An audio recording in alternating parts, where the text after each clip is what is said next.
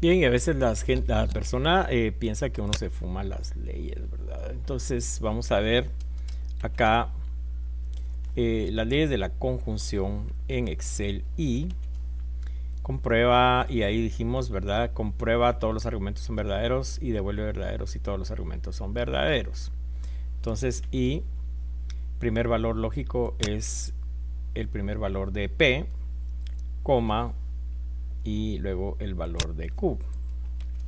Entonces, esto en la ley de la conjunción, esto es verdadero cuando los dos son verdaderos. Vamos a ver en los demás casos, es falso. Cuando uno de los valores es falso o cuando los dos valores son falsos, la conjunción es falsa. En la disyunción, las leyes son diferentes. Aquí en Excel se escribe O Comprueba si alguno de los argumentos es verdadero, devuelve verdadero o falso, devuelve falso si todos los argumentos son falsos. Entonces ponemos igual lo mismo. Tenemos acá el primer valor lógico, coma, el segundo valor lógico. Y vamos a ver que cuando los dos valores son verdaderos, la disyunción es verdadera. Y arrastramos y vamos a observar que la disyunción es verdadera cuando al menos uno de los valores es verdadero, pero es falsa cuando los dos valores son falsos. Estas son las leyes de tablas de verdad que vamos a usar en esta hoja de trabajo.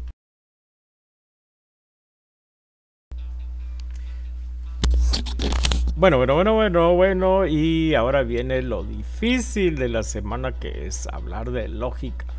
La lógica es algo tan abstracto que la gente dice, ay, ¿para qué aprendo esto? No me sirve, no me va a servir. Entonces estamos tratando de hacer que esto sea como un juego. Un juego. Vamos a ver cómo vamos a tratar de hacerlo. Bien, tenemos el ejemplo 1. Vamos a tener dos enunciados. P, comprar platos, platones. Q, le gusta la cocina. Bien, nos están pidiendo resolver la fórmula entre paréntesis Q y Q y P. Y tenemos acá nuestra tabla de verdad para Q, dos valores verdaderos, dos falsos. Para P, un valor verdadero, un falso, un verdadero, un falso. Para cubrir las cuatro posibilidades. Luego vamos a trabajar la primera parte que dice Q y Q. Y lo que sucede acá es que estamos trabajando sobre Q y sobre ella misma, sin eh, tomar en cuenta el otro enunciado. Entonces, es verdadero cuando Q es verdadero y Q es verdadero. En el primer caso es verdadero, en el segundo también es verdadero y es falso cuando los dos son falsos, es decir, cuando Q es falsa y Q vuelve a ser falsa. Eso ya lo hemos visto desde las tablas de verdad. Ahora nos toca resolver, ya tenemos resuelto el paréntesis, ahora nos toca resolver todo el enunciado, Q y Q y P. Entonces tenemos que agregar acá el enunciado completo, resolviendo la primera parte que está en paréntesis. Copiamos el valor de P acá para tener todo el, el enunciado. Y ahora nos toca ver el resultado y el resultado va a ser este enunciado entre paréntesis y el, otro enunciado, la conjunción es verdadera cuando ambos valores son verdaderos. Entonces, ¿es verdadero en el primer caso? Sí. Y en los otros tres casos no es verdadero, es falso, según las leyes de la conjunción. Ahora la pregunta es, diga si se cumple que le gusta la cocina. Pues acá, ¿qué podemos decir? Solo hay un resultado verdadero y la respuesta es solo en una de las cuatro situaciones, según las leyes de la conjunción. Solo en una de las cuatro situaciones, compra platos platones, le gusta la cocina, se cumple.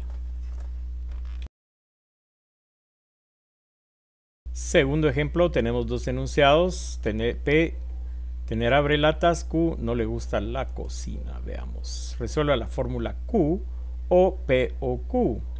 Tenemos en primer lugar nuestra tabla de verdad, los valores de P, los valores de Q. Ya los hemos explicado, dos verdaderos, dos falsos, verdadero, falso, verdadero, falso, para cubrir las cuatro posibilidades. Y vamos a resolver primero en estas fórmulas el paréntesis.